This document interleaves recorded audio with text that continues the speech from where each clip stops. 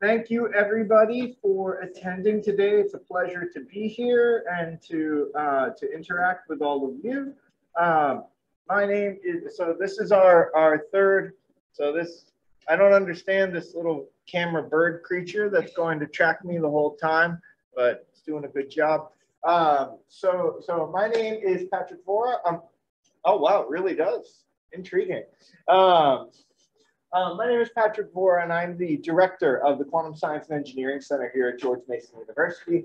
I'm an, also an associate professor of physics in the physics and astronomy department, and it's my pleasure to be here with you all on our third annual Quantum Week. And tomorrow is World Quantum Day, and things typically get days because they're important and interesting. Um, and so I hope to be able to convey to you both why this area is important and interesting and why it should excite you. For those of you who are young in the audience and not yet converts to the cause of quantum, um, you know, I, I hope I'll be able to share with you why it might be an important thing to make a part of your future plans for, for where you want to go in your life. Okay. So First of all, uh, at the core of our efforts here at George Mason University is our Quantum Science and Engineering Center. Um, we've existed since 2018, and as you can see from our, um, well, and you virtual friends can't see a, a darn thing. Does this thing let me have? Aha, look at that. A laser pointer for you. As you can see,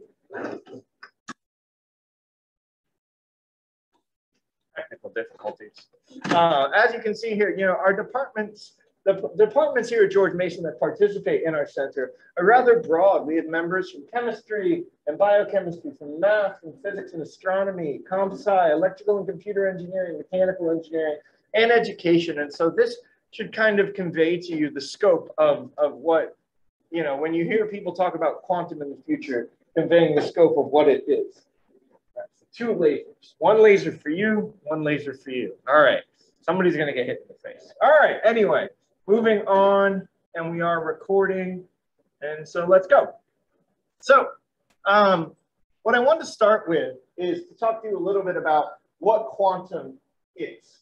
Right? And so, you know, in popular media, you've very often seen presentations of what atoms look like. And in many cases, it looks like this. And so what I'm going to tell for you over the next few slides are things about quantum that, that deviate from your typical view of what the world is and how it works. Right. And so what I want to start about first here is dealing with something that's very quantum, which is a single atom. Right. So this is kind of showing you kind of a planetary Bohr style model of what an atom looks like, where you have a nucleus with your protons and electrons, and then around it orbiting, you have uh, not protons and electrons, goodness gracious me, we're off to a great start. Protons and neutrons in the nucleus, and orbiting it with these black particles here are the electrons. And in this illustration, it looks like, you know, it looks Keplerian, right? It looks like we have planets going around the sun. And that's not actually what's happening. In this view, it seems that an electron is a particle with a well-defined position and momentum. It's undergoing an orbit. In reality, it's very much not. Particles that are quantum mechanical have characteristics that are inherently probabilistic in nature. So we can't say where the electron is at a given moment in time and how fast it's going. We can only describe um, the probability of where it is using something called the wave function. And so for different uh, energy states that an electron may be in, it exists in different spatial probability distributions where you can have these electrons localized with these different kinds of patterns. So these heat maps are showing you around an atom for different energy levels where the electron is most likely to be. Ooh, we got flickering lights too. So that light is illustrating probabilistic. It's either on or, you know, we don't know. It'll be on or off, okay? So, all right. So this is the first big point I want to make.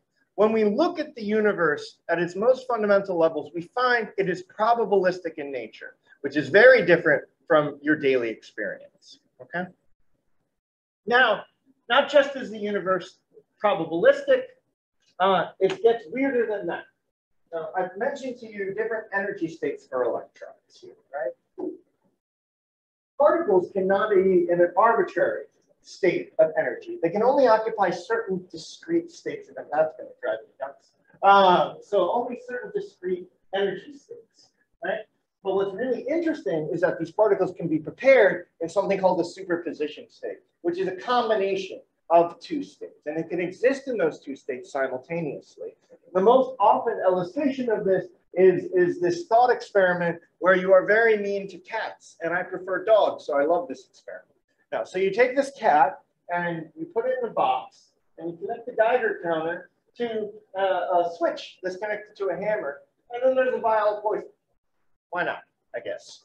Um, so in this experiment, based upon the rate, random decay, radi radioactive decay of, of some radioactive elements in this box here, right? It triggers, you know, this, this, this counter to create a click, which triggers the switch to flip, which triggers the poison vial to break, which may or may not kill the cat, right? And then you put all this in a box because, you know, you may want to just be in a box if you're a cat and this is happening to you. Why not, right? So you, as an external observer, have absolutely no idea at any given point whether the cat is still alive or it's dead. The box is also soundproof, so you can't hear the mewing or the clawing on the sides as it attempts to escape, right? So you have no idea. And so the cat can be described as existing in a simultaneous superposition of a state of both being dead and both being alive. It's a little morbid, but it gets across the point. Quantum mechanical particles can be prepared in a simultaneous superposition of two states. And what's crucial is you won't actually be able to know what state it's in until you do a measurement, until you open the box and check to see if you still have a cat. Okay? So that's another weird thing. That's like, you know, being able to be saying you're here and not here, right? That, um, that an arrow points up and down at the same time. Superposition is very strange. What is stranger still is, is probing into the heart of matter itself a little bit more? And so let's talk about light for a second. Many of you may be aware, light can be described as a wave, right? Different colors correspond to different electromagnetic waves different kinds of wavelengths, right? And you can do experiments that, that show this. If you take a, uh, a wall and you cut two slits in it and you illuminate it with a light source, what you'll observe is an interference pattern on a wall far away from those two slits. This is because you're sending light waves through those two slits and they end up interfering either constructively or destructively on a wall far away from the slits. So that's called an interference pattern and it's something you've also seen if you've ever taken two rocks and dropped them in a pond at the same time. You create two sources of waves. Those waves overlap in some places and cancel out in others.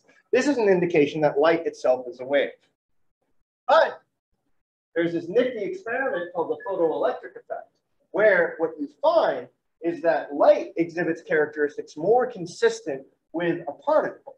And I won't dig into the details of this, I don't have the time for it right now, but essentially what matters in this thing called the photoelectric effect, when you're trying to use light to eject electrons from the material, is not how much light you're sending at it, it's what the color is, it's what the wavelength is. So I could send a trillion, zillion, million, jillion photons at something that are at a lower energy, i.e. a longer wavelength, and I wouldn't eject any electrons.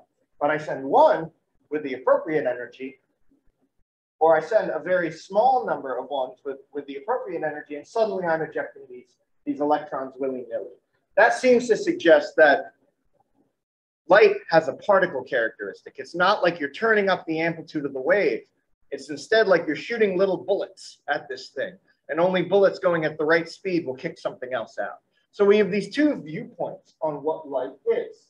And what it comes out to be is that light is both. It is a wave and a particle. This is a cute little uh, little uh, uh, uh, uh cartoony thing done by Douglas Hofstadter, um, where he's showing, you know, you can write wave, particle. Which is it? It's both, right? So we call this wave particle duality, right? So we have three things now. The reality is probabilistic and fuzzy in nature. Things can be in different states at the same time. They can be in superpositions. And when you look at individual particles, which you're used to thinking about as billiard balls, you find they are not. They are billiard ball-ish, but also wave-ish in nature. So it gets weirder. And it gets even weirder still because we just talked about light. I didn't tell you about matter. Matter shows the same effects. So this experiment done in 2013 actually showed that you can create this kind of an interference effect between individual molecules that contain 810 atoms. So you can show this kind of double slit-esque quantum interference effect with big chunks of matter, which suggests that the matter itself contains wave-like characteristics. If it didn't, you wouldn't observe interference patterns. So that is really strange. So it's not just the light thing everything, all chunks of matter, protons, neutrons, electrons, everything else you build up with, right? All of it, wave particle duality. So we have a lot of weird stuff now. Probabilistic, probabilistic nature reality, superposition states, wave particle duality. And why not make it worse? There's something called quantum entanglement, which is a very, very strange thing. Some of you may have seen the Marvels trailer that came out the other night. Kamala Khan, um, the other characters whose names I don't know, uh, but no, I saw it. Thanks, Joe. You're the man. All right, throwing me a bone. So they have a thing going on where their powers are entangled. So they use their powers and they swap positions. It's not quantum entanglement, but it kind of is showing you something similar in idea. The, the idea of this is that if you two particles that um, two, two particles that are quantum in nature, and they interact with each other. Remember, we talked about probability distributions, right? When they interact with each other, their probability distributions, their probability of what state they're in, become connected. Okay? So they interact with each other, and then I can separate them, and I can take one to the edge of the universe if I like, and I can take the other, you know, to Kmart. Wait, we don't have this. To 7-Eleven, right? So I could take them to very different places, very different environments, right? And their probabilities will still remain connected. And what this will mean is that the state of this particle will be dependent upon the state of this particle and vice versa. And so if you do a measurement on one, you automatically know the state of the other. Right? So this is weird. It doesn't matter how far apart you take these things, they still remain connected. Right? Even over billions of light years potentially. Right?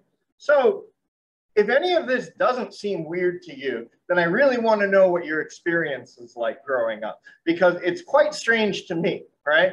So these are all very non-intuitive, atypical things humans don't encounter as they as they grow up, okay? They have no classical equivalents.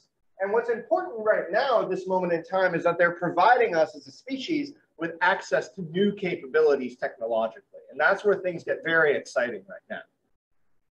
Okay, so let's talk about what the investments are in this area. I'm going to follow it up with a little bit of discussion of some possible technologies that hopefully will excite you a bit. Um, the idea of making technologies that use quantum effects as their fundamental operating principles has generated a lot of excitement and a lot of investment. Here in the US, very recently in 2018, we passed something called the National Quantum Initiative, which put a couple billion dollars towards supporting standing up efforts in quantum across academia, government, and industry, and doing so in a coordinated manner. So they call this doing an all-of-nation approach. Right? So there are many um, you know, federal agencies that take part in this. All the logos are there. I'm not going to read them. Right? But what's also important is that there is massive, massive corporate interest in this. At the time that I made these slides, I got tired of counting the number of companies on the QEDC website, the Quantum Economic Development Consortium website. And there are great, more than 130 companies um, that are a member of this consortium that partner together to try to push quantum forward as a technology and as a future economy for the nation. Okay, it's more than that. But it was late and I was tired.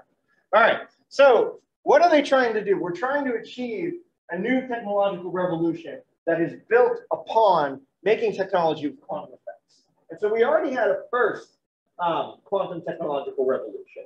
Well, a first quantum revolution in terms of fundamental science, where we discovered the laws of the universe based on quantum physics. Right? Then we began building our first round of quantum technology.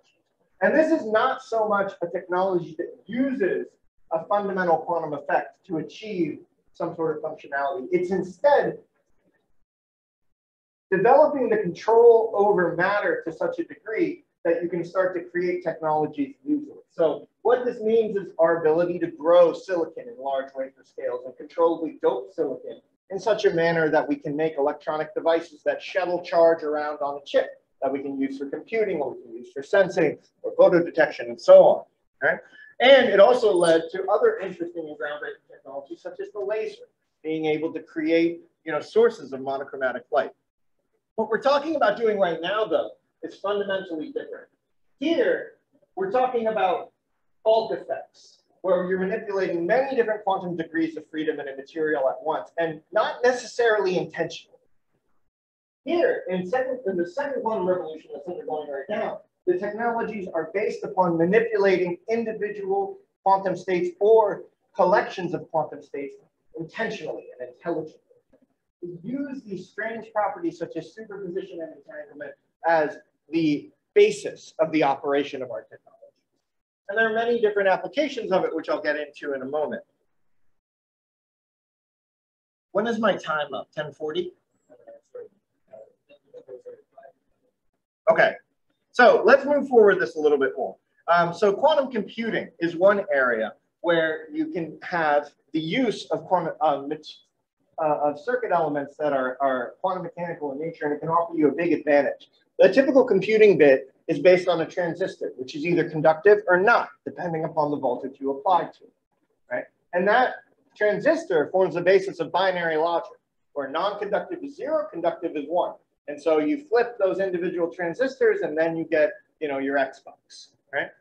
Quantum computers are different. The individual bits here can exist in superposition states. They can be zero and one simultaneously.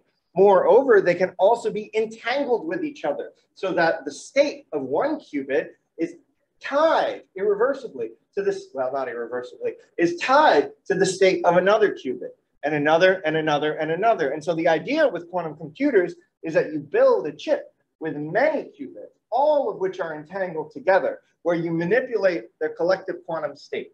And that is a new way to process information. And it's a way of processing information that can make problems that are impossible on current computers solvable very quickly. And so there are many different companies taking many different approaches to solving the problem of making a quantum computer that is, you know, actually um, able to deliver on the power, on the promise of this power, such as IBM and IonQ. Um, but if planned, if successful, this will really be transformative for us in a variety of different areas. Now, another place where quantum can be useful uh, is in communication and encryption and security. NSA is one of the big funders of quantum computing. Why is that? Well, the reason why is quantum computers are awesome at prime number factorization, which means you get to say goodbye to RSA encryption. So it's no longer so easy to do the one-click buy on Amazon. That's not such a secure purchase all of a sudden. All your banking transactions not so secure. So I like this Homer Simpson gift, or not gift, huh, showing my age. Um, this Homer Simpson image, which I've modified to, to, quantum, the cause of and solution to all of life's problems, right? It, it, used to be a beverage, which I'll let you figure out. Um, so, so uh, this is the cause of life's encryption problems right now. But what, what, what could be a solution? Well, these entangled quantum states mean that if you can distribute entangled particles to different parts of the planet, say between two people who want to communicate, then you can actually generate a perfectly secure key. Right? So you can create encryption keys where you know whether or not that distribution of that key has been compromised. And so then you have a method to generate perfectly secure um, encryption keys where you know if it's been compromised and it can enable you to now do transactions with each other. All right, so that's communication, that's computing. What about probing the world around us? sensing things is more important than ever, right? The, the prevalence of, um, you know, of um, cheap and, and easily deployable sensing technologies makes a lot of things very interesting and very easy. You can go ahead and get an Arduino. It's filled with a bunch of sensing, uh, little sensing elements that, that you can easily combine in circuits to automatically water your plants or monitor, you know, the temperature in your home, things like that. Being able to detect the world is very important. It's and so it's important in the mundane, but it's also important in the fundamental. So there are very interesting um, things that you can probe when you start to build sensing devices based on very, very uh, uh, uh, uh sensitive and interesting quantum mechanical effects. So one of these discoveries was the discovery of gravitational waves. So this is quite cool. If you don't know what those are, we exist in um, something called space-time. And space-time is kind of like a fabric. So imagine a bunch of pool balls on a rubber sheet, right? So when a pool ball is bounced on that rubber sheet, it creates little waves that vibrate out, right? The pool ball would be planets, let's say, right? So those vibrations, what they do is they actually stretch and compress the fabric of reality. And what's really interesting is that let's say you have a situation where you have two black holes, right? The, the, and they're orbiting around each other, then they're maximally stretching and compressing space-time so that you can actually have reality be compressed and stretched over very large length scales, although the effects are very, very tiny. So we've actually been able to detect this now. So we know, and this is a further verification of Einstein's theory of general relativity, but it's also amazing that we can detect the compressing and stretching of space-time itself from objects that are, are millions of light years away. I actually don't know how far they are away. How far are they? Do you know? Billion. All right, so I'm in good company. All right, so, so um, that was enabled by using uh, uh, states, special states of light called squeeze states. Right? But there are other things you can do. You can make quantum accelerometers and quantum clocks that are useful for military applications in position navigation and timing. And you can also take advantage of nanostructure and the ability to create quantum states to make extremely sensitive um, probes for biological systems. So this can actually let us, let us start to understand ourselves in fundamentally new ways as well, which is very exciting. And so the applications for computing as well end up being Legion, finance, so, so JP Morgan will take more, oh, uh, finance companies will take more of your money, right? So just kidding. Uh, but, but you can model the market better. Uh, aerospace, fluid dynamics are notoriously hard problems to solve right? So you can maybe make planes that are much more fuel efficient, much less costly to build as well. And drug discovery and design. You can conceive of um, accelerating the time it takes to create new kinds of drugs, potentially in response to, I don't know, a pandemic, all right? So who else is investing in this? Pretty much most of us on the planet are putting heavy amounts of money into this. So this is a map of um, investments as of 2021 into quantum. And you see many players, right? The US, Canada, EU, countries within the EU that have put particularly large amounts in, China, India, Australia, Singapore, New Zealand, so on and so forth. Um, so the graph is nice, but it's it's pretty and it shows you the, the spatial distribution. But potentially what's more um, useful and, and maybe a little bit scary is, is a histogram display of this, where it shows the amount invested by country. And as you can see, you might think, oh, the US must be at the top. We are certainly not, right? China is investing, and this is public sector investments, by the way. It doesn't account for what private sector is putting in. So maybe that helps us out a little bit, but China's put in 15.3 billion into quantum. The next closest is European, the European Union, that's 7.2. We're lagging way behind, we're at 1.9. So these technologies are really useful for both our economic security and our national security, yet we aren't putting in the money for it right now. So, oh, come on. So at Mason, we've tried to address the challenge of making sure that um, you know the U.S. can can be a leader in quantum technology and quantum education, quantum research. And so in 2018, we founded the Quantum Science and Engineering Center here at the university. We have seven member departments spanning a wide range of disciplines. Uh, and we have excellent partners, many of whom are here today. Thank you, excellent partners. We appreciate you. Uh, I'm running out of time, otherwise I'd read all your logos. Uh, so, so, and what do we do? We try to take a transdisciplinary approach to quantum research and education. Quantum mechanical effects are fundamental to a variety of different disciplines. So disciplinary boundaries cease to be a useful construct. So we don't care about them.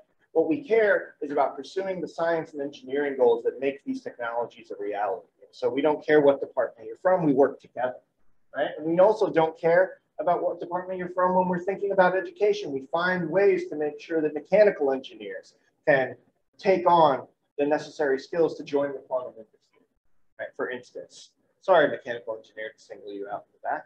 Um, So what do we do? We have active experimental and theoretical research in quantum computing and algorithms, quantum sensing, quantum materials. We're dedicated to building a world-class quantum workforce with equity at its core. There's a massive workforce shortage in this area. And so making sure that we build a workforce that has representation of everyone in the US at its core is crucial not only for ethical reasons, but also for actually making sure that the US can compete in this really important future area. Without that, we can't, right? And working with our private partners in industry and our government partners. You know, this is something where it's, it's fascinating, interesting, and lucrative and, and useful. Um, we need to make sure that as we're designing our, our new education programs and working on our research, we're doing so in a way where we're informed by what the needs are, actual technological needs, actual workforce needs. So that is, that is what QSEC does. And QSEC as a whole has grown um, quite a bit over the five years. This graph is showing the dark green bar is what you should pay attention to. That's our research expenditures from external awards. And as you can see, it's been rising rapidly. And what that means for you students practically is more GRA opportunities, more postdoc positions, more undergraduate research positions. So this is something we've been putting a lot of effort and energy into and trying to expand here. Um, so I'm going to skip over our organizational structure since I've already hit time, but we are humans and we exist. Many of us are from many departments. Our center breaks down by materials, computing, and sensing. At the core of all of it is education and training of the next generation of quantum scientists and engineers. Many wonderful individuals here um, run our, our different groups in material sensing, computing, and education. I don't have time to, to list them all, but they are all uh, well described on our website. And again, many people um, take part in our efforts. Many faculty from all over this university join into these efforts to make sure that Mason can lead this, this march into the, the second quantum revolution. All right. Um, our materials group, what do we do? In there, we try to grow material. We've talked only about atoms, right? And we've talked about electrons so far today. That's not so easy to just hand me an electron and be like, here's your quantum device, right? So it's better if we can think about creating materials that host quantum mechanical properties and build technologies based upon those. That's what our quantum materials group does. We synthesize new and interesting quantum materials, materials that support um, emergent quantum mechanical states, hopefully at elevated temperatures. Right? And then we put those in devices and then we study them theoretically and we benchmark those devices. And this is useful for qubits, for quantum light sources, for quantum interconnects and energy efficient devices that even aren't necessarily quantum, but still might improve conventional computing. Our research in quantum sensing is, is um, world shattering. Um, so we actually hold the world record for the world's most sensitive quantum magnetometer and quantum gradiometer. Um, that's held by Dr. Karen Sauer in the physics department. Not many people know that, right? But we also have amazing work going on nanobiosensing, a lot of which is held up by, is run by Pil Kang back there in the back from the mechanical engineering department. And, um, you know, we really focus on, you know, collaborating across disciplines here. To be able to detect something, you need to understand what the biological nature of that something is in order to intelligently design a material and a device to probe. Now there's a mouse. All right. So in quantum computing, um, I myself am a material scientist, so I, I, am the least qualified to talk about this, but the entirety of tomorrow is devoted to computing and education, so please come on by and check more about it there. But what we work on primarily in quantum computing is coming up with new kinds of algorithms. Computers, quantum computers do things in a fundamentally new way, right? So it's not like you can just run C++ on a quantum computer. You can't just deploy, um, you can't just take your problem and easily translate it necessarily into a manner that a quantum computer can solve. This is a new area, it's a new research area for us. So creating the algorithms that can actually solve these problems on a quantum system is a big challenge. Our educational efforts are, are one of our major shining stars of our center.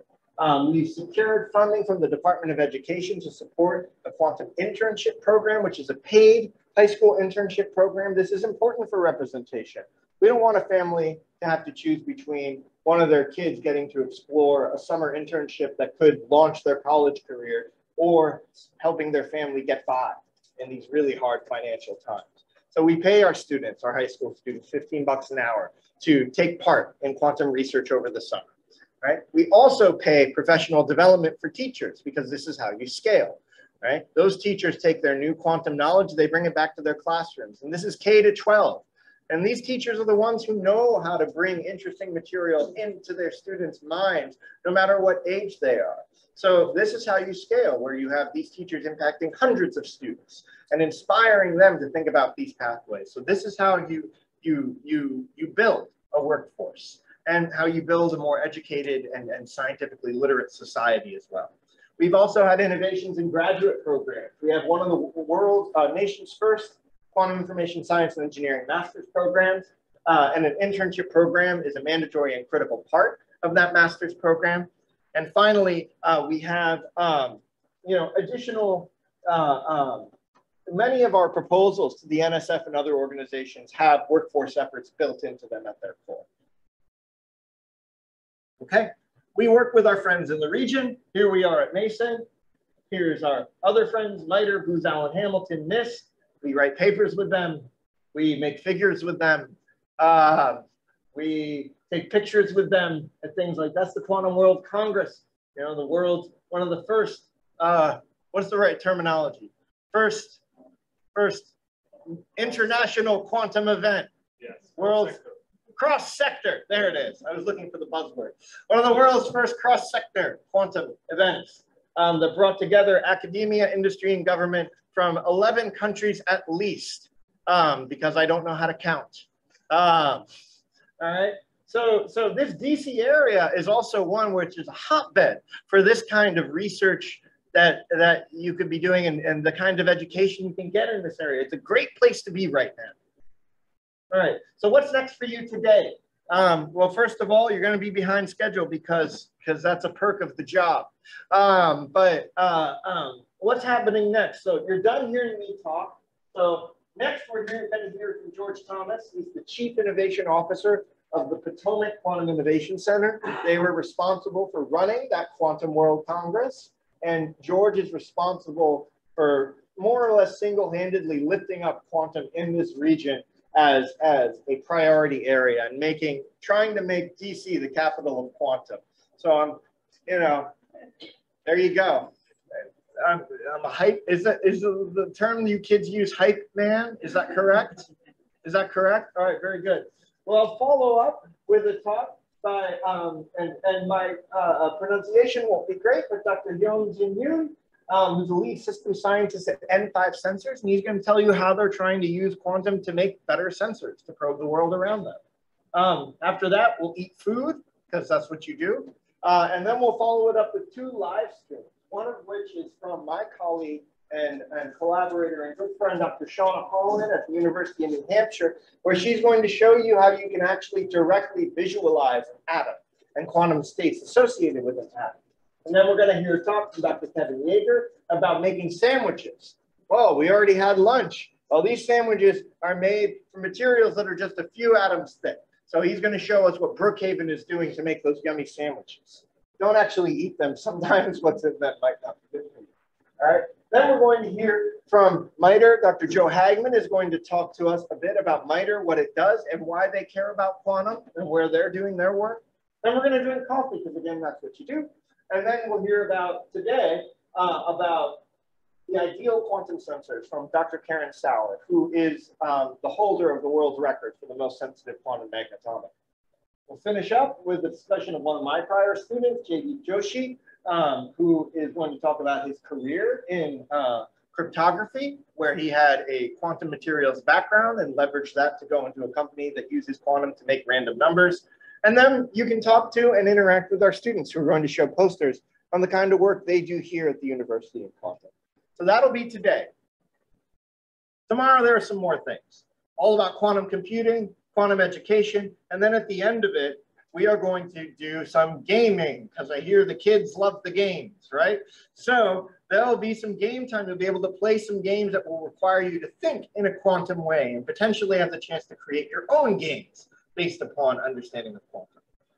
So that's that's what's coming. So with that, um, what's next for you? Hang out, eat food, drink coffee, listen, ask questions. Don't be afraid to ask questions. Be brave, right? And, and make connections. Uh, and if you want to get more involved and join research teams and learn more about quantum, reach out to any of the faculty here or any of the speakers here, and we can help you make that change or make that transition.